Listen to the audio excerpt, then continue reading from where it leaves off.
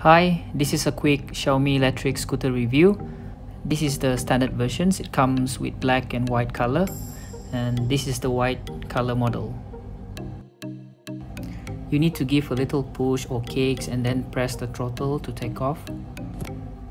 In terms of speed, the maximum speed of this scooter is 25 km per hour. But if you set it to cruise control, the top speed can only go up to 18 km per hour.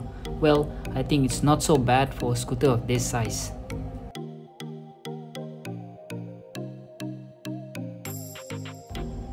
What I like about the handle and the decking is that they are both made from high quality rubber.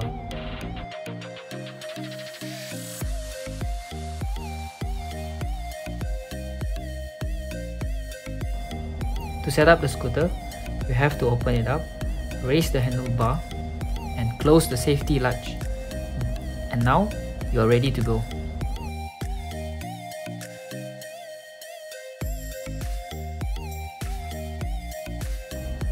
I'm gonna turn on and test the headlight. It features a super bright headlight. It gives better visibility and safety when riding at night.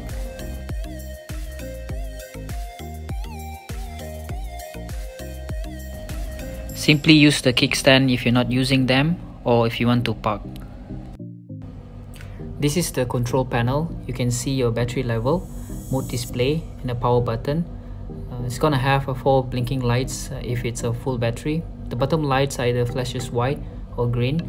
The white lights indicated normal mode and now you can see green which indicated the power saving mode and or the eco mode however if you set the power to saving mode it will limit the speed uh, to 18 km per hour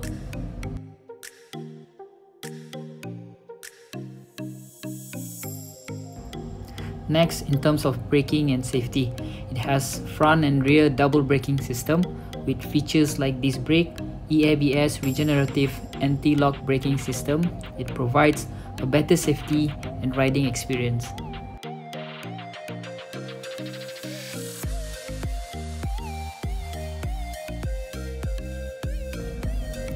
The charging port is located here. It will take about 4 to 5 hours to fully charge so a single charge can travel up to 30 km. This scooter is super easy to fold.